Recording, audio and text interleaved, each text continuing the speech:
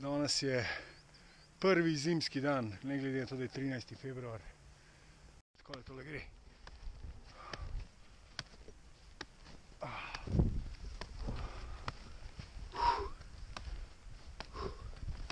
Superca.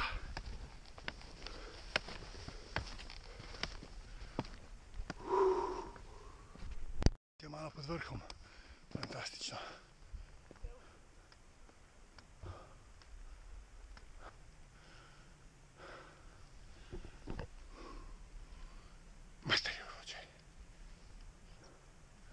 plus pitstopit.